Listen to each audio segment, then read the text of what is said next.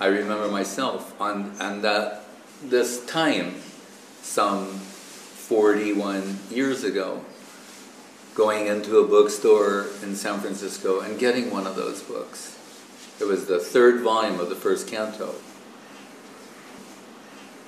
I remember reading about Sukadeva Goswami, and this is the time of the 60s, and Haight Ashbury and the hippie movement, and then, and who's the leader? A 16 year old boy who's naked. he's walking around naked. Just, uh, he has long hair and he's naked. And when he enters the assembly, the sages give him the presidential seat because they can see by the study of physiognomy that he's not a madman, he's a liberated soul to the extreme. So, and there's a beautiful description of Sukadev Goswami there.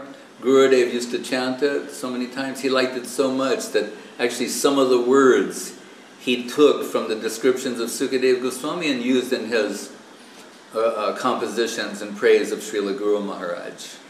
Because it's, he's described as looking like Shyamasundara Krishna and the beauty of his neck, his body. There's an elaborate description of just how beautiful Sukadeva was. But so, and I'm reading this book. I had some other books at that time, Bhagavad Gita, the other things, but I wanted this, I was always seeing in Bhagavad Gita purport, reference to Srimad Bhagavatam, so I'm reading this. And then it says, Parikshit Maharaj asked Sukadev, what is the purpose of one in life, specifically for one who is about to die?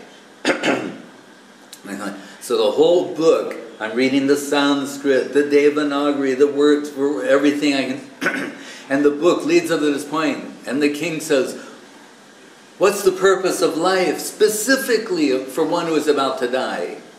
And I'm getting more and more excited, and then it says, Thus end the Bhaktivedanta purports to the first canto of the Srimad Bhagavatam.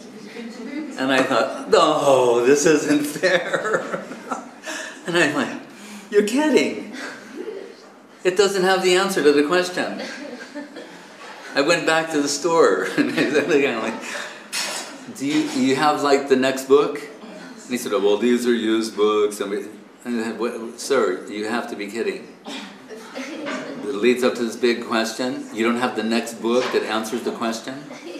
like, you know, don't give me a hard time. I just work here. so I realized that I would have to join to get the answer to this all important question. and actually, when I did join, they just per published the first chapter of the second canto where the question. I said, my dear king, I was saying, thank you, Lord. Your question, what is it? Varyan Eshate Prajna, Loka, uh, Loka Itam Ripa, Atmavid, something. He says, this question is beneficial for everyone to hear.